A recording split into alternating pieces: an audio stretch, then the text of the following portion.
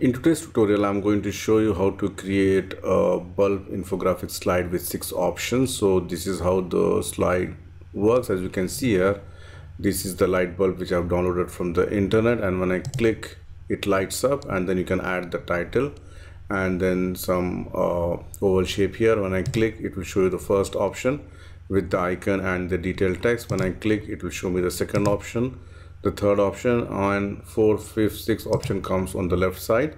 So this is the fourth fifth and sixth option.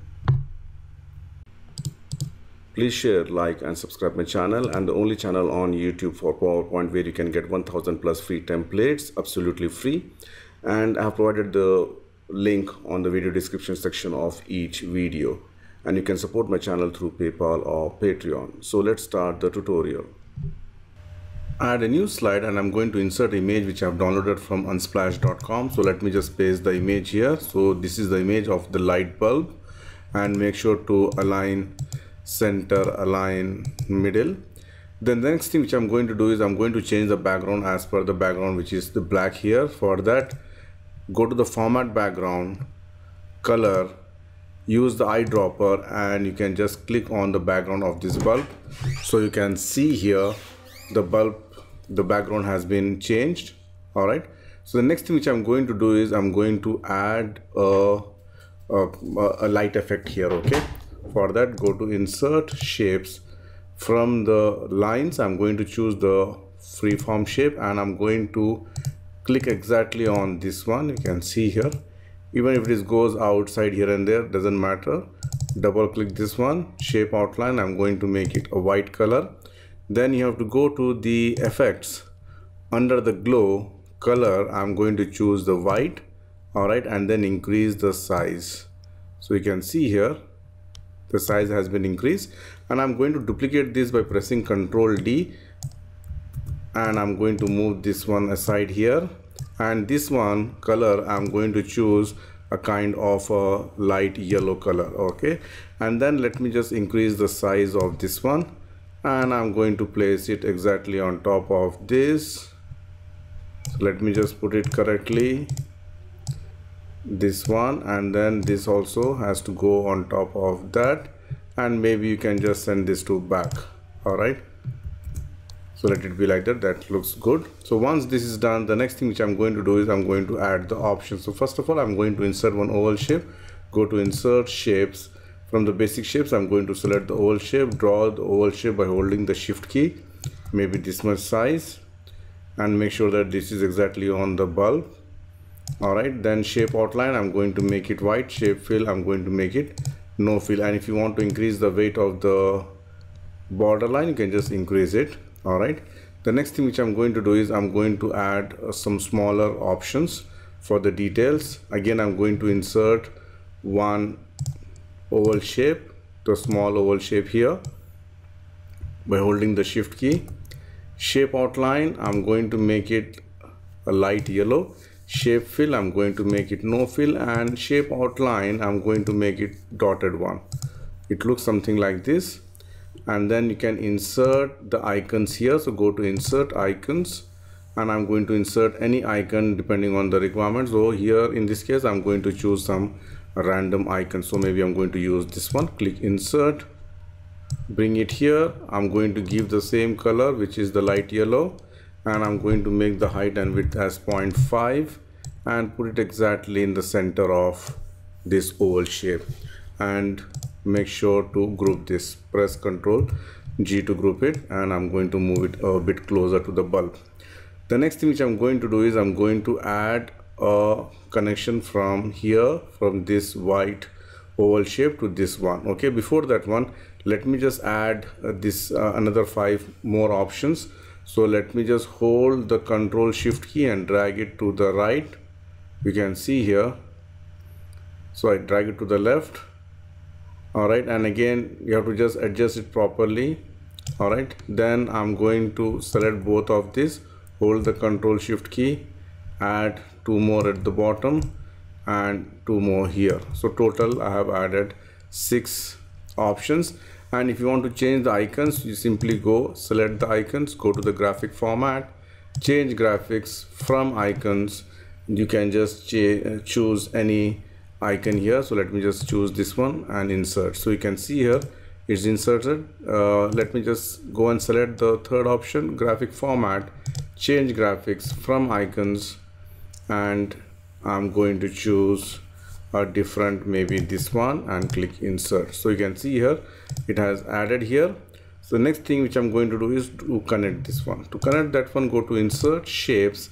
From the lines I'm going to choose a freeform shape where I'm going to click here one one here and hold the shift key for the straight line till this one and double click shape outline. I'm going to make it white or if you want you can just make it yellow color also whichever color which you feel. So let me just make it white only. All right and if you want the outer line this also you can make it white. And only you can keep this as uh, light yellow. But depending on the requirement you can just change it.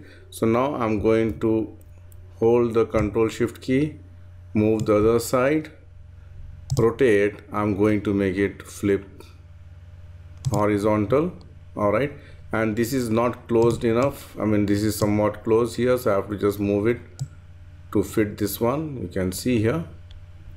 All right the next thing which I'm going to do is I'm going to connect the second one go to insert shapes and lines freeform shape and from here click here and hold the shift key for the straight line and double click it. Again white color press ctrl D or you can just insert a new one that will be better.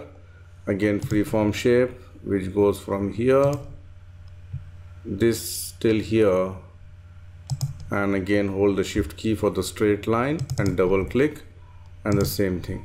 So now let me just copy this one to the other side press ctrl d to duplicate rotate i'm going to make it flip horizontal and i'm going to place it here all right just make sure that it is properly aligned. All right then comes this one. Press ctrl d rotate flip horizontal and i'm going to put it here. Right so you can see here i've added six options and then you can add some title here. Go to insert text box. I'm going to say title. You can use any color. Maybe orange color i'm going to use. Increase the size and put it in the center.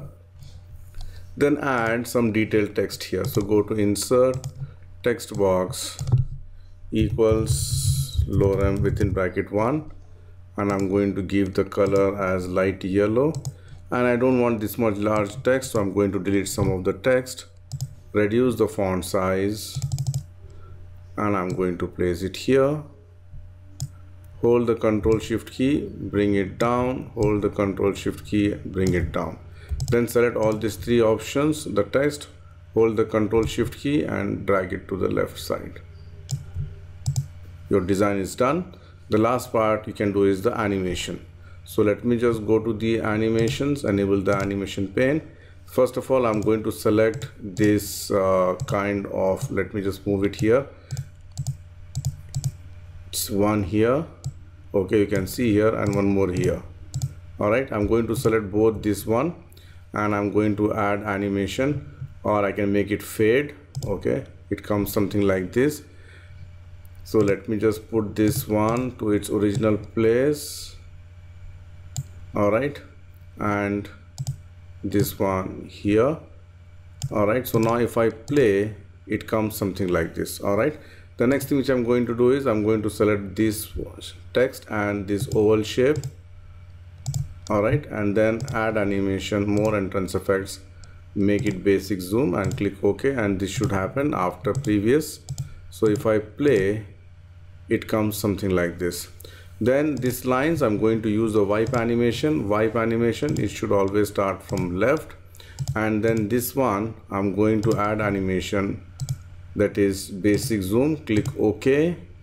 And this one add animation more entrance effects stretch click OK and effect option choose from the left. And all those things should happen. This one should happen after previous. This should happen after previous. All right so let me just play now. When I click the light comes title then these options okay? Similarly I can just simply use the animation painter select this line click on animation painter click on this line so animation copied here. Same thing click on this. Again where you want to copy the animation on that particular object you need to click and then copied so here also same thing. So you can just copy the same thing here as well. And again let me just copy it here and then I'm going to copy it here. All right the same thing I'm going to apply animation painter on this particular. The only thing is the line effect should come from the right okay not from the left. So now I'm going to copy this one here and this also I'm going to copy. Again the stretch should not be from the left it should be from the right. Okay the same thing. I can just simply select this one copy